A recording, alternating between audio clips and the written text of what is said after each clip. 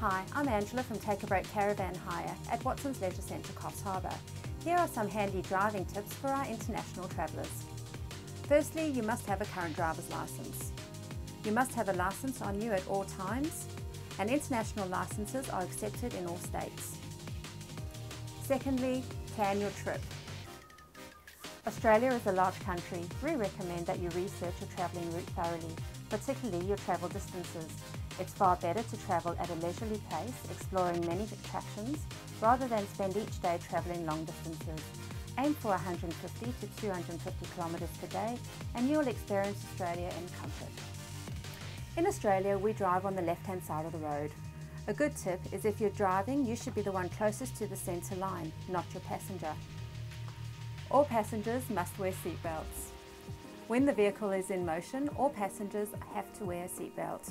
As much as some passengers are tired and want to take a nap in the bed, it can be dangerous and is illegal. Children ought to be properly restrained. All our motorhomes are fitted with anchor restraint points. For more information regarding the laws on children's restraints, log on to roadsafety.transport.nsw.gov.au. This link is in the description below. While driving on Australian roads, look out for wildlife.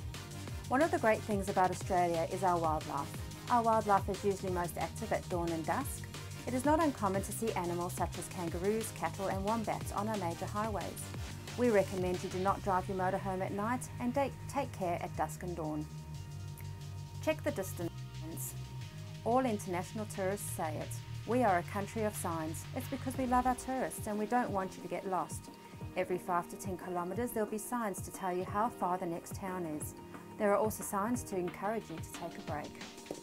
Finally, watch your speed. Other important signs to watch out for are speed signs. On major freeways, this is usually 100 kilometres per hour, but increased to 110 kilometres. Some stretches are 60 to 80 kilometres if you're going through towns.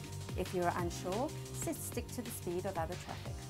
That's it for our driving tips. For more information, you can contact us at takeabreakcaravanhire.com.au or visit us at Watson's Leisure Centre, Coffs Harbour.